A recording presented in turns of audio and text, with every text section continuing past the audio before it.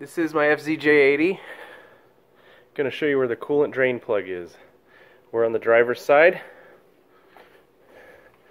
And if you come into the fender, well, but if you follow my ratchet back here, there we go, you can go all the way back to there.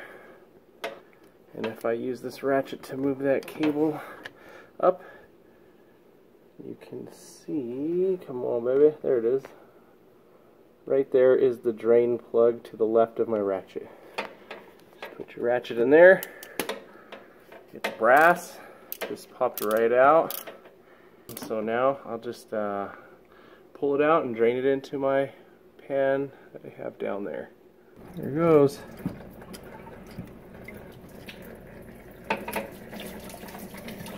There, that should show you right where it is.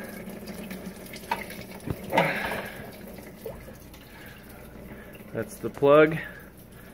I think that's a big brass plug. Here comes the coolant.